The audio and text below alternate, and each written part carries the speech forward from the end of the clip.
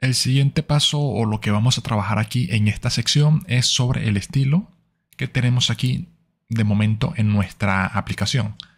En la sección anterior nos enfocamos en desarrollar la parte funcional, pero también la parte visual es importante y forma parte de lo que es el STAP, así que es lo siguiente que nosotros vamos a trabajar. Entonces si revisamos cualquier formulario, por ejemplo este, aquí lo podemos analizar un poquito más rápido, vemos aquí que tenemos un conjunto de clases con las cuales tenemos el siguiente estilo. A mí realmente no me gusta mucho, siempre me molesta este espacio muerto que está aquí al lado y lo pudiéramos quitar sin problema, al igual que hacemos aquí lo eliminamos, pudiéramos terminar de adaptarlo. Pero por el enfoque del curso no quiero tampoco colocar mi estilo, mi visión sobre la que ya tenga esta gente, la del, equipo de Lightware o de JetStream.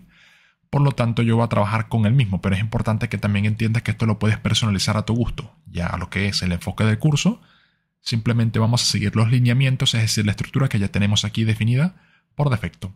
Es importante también mencionar que esto es Tailwind, básicamente un montón de div con Tailwinds, con Tailwind CSS, y por lo tanto es el mismo estilo que también empleamos en otros tabs como es inertia. Porque al final esa parte del cliente es otra vez lo mismo, que si lo presentamos con Vue o lo presentamos con, con Blade es indiferente si estamos trabajando con Tailwind. Entonces si ya viste el de inertia, tienes que saber que es a la final el mismo estilo. Claro está, otra vez aquí vamos a trabajar es con la parte de Blade y Tailwind sería. Entonces ya por aquí, por ejemplo, podemos ver un formulario con el cual vamos a trabajar y con el cual vamos a empezar a adaptar todo esto que tenemos acá. Y es simplemente replicar lo que ya tenemos. Una vez explicado esto, yo lo que te recomendaría es que a medida que vaya, vayamos adelantándonos en cada clase, tú hagas estas implementaciones. Es decir, aquí lo que tenemos que hacer es agarrar esa estructura que habías antes, el div con el column de, de tamaño 6, y vayas adaptando aquí tu contenido a la final y también esto que teníamos aquí, este bloque feo ocupando aquí espacio, y vayas haciendo esas adaptaciones aquí en tu desarrollo. Por lo tanto, sería un reto para ti prácticamente toda esta sección. Claro está que yo también voy a implementarlas, porque si no, no tiene sentido, y para que te quede ahí también la implementación por si tienes alguna duda. Pero es importante que entiendas eso, que esto es, o te recomiendo mucho que empieces a implementarlo tú por tu cuenta, ya que de esta forma también vas a, como quien dice, conocer un poco más lo que nos ofrece el STAP, como quien dice, de la mano. Entonces, sin más que decir, voy a comenzar aquí con la implementación. Aquí, otra vez, vamos a esa parte de duplicar el contenido que ya tenemos. Así que simplemente buscar aquí, bueno, estos son los componentes, lo que ya tenemos. Ahorita no tenemos que sacar ninguno en particular, ya que estamos reutilizando una estructura existente. Vamos a buscar aquí alguno que sea, a ver si los encuentro. Aquí tenemos uno para login. Me gustaría saber dónde está este. El de profile. Mm, aquí está, profile. Tenemos show, tenemos update, este no sé cuál es. Para ver, este sería profile. Bueno, otra forma es copiar esto. Control Shift F debe estar por aquí. Y no encuentro nada, qué desgracia. Algo debe de encontrar. Ahí está. Pasa es que tiene estos. Este slash S por ahí para el, la comilla ahí. Aquí lo tenemos y esta es la estructura que te digo que vamos a conocer. Entonces, ¿qué es lo que tenemos aquí? Aquí tenemos un formulario section. Aquí fíjate que cambia un poquito. Esto sí sería un cambio que tenemos que hacer, ya que por aquí tenemos ese un formulario típico, que es cómo funciona Liveware, en este caso como quien dice excluyendo todo lo que ya tenemos, pero otra vez la idea es emplear esta estructura existente. ¿Y qué es esta estructura? Simplemente es componentes, componentes del Liveware. En este caso ya tenemos uno llamado, aquí está, en el cual fíjate qué es lo que hace. Él recibe el prod, el llamado submit. Recuerda que los prod es para pasar atributos de manera externa. En este caso es para indicar a qué método tiene que llamar.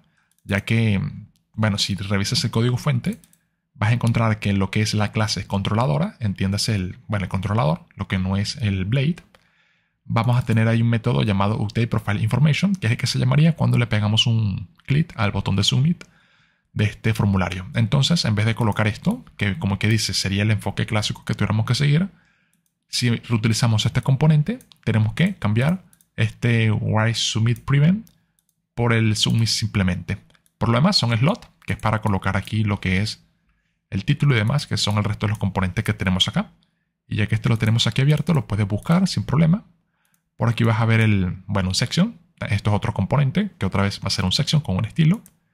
Y aquí tenemos los, los slots que recuerda que son simplemente partes en donde nosotros colocamos el contenido. Al igual que funciona en Vue y frameworks del lado de clientes similares, aquí tenemos este apartado para colocar algún contenido que queramos cambiar. Por ejemplo, aquí pudieras colocar una imagen más texto. Lo que pasa es que no tengo una imagen a la mano. Y aquí puedes ver que va a aparecer. Entonces es para colocar, como quien dice, un contenido predefinido en cierta renglón de nuestra página. ¿Qué más tenemos acá? Bueno, otra vez el slot para el formulario, que sería este bloque que se encuentra aquí definido. Aquí puedes ver lo fácil que es cambiar esto, porque si no te gusta nada de esto, lo puedes eliminar a secas. Y por aquí también le cambias los espaciados. En este caso ya no sería una columna de 2 o de 3, que es lo que tenemos acá.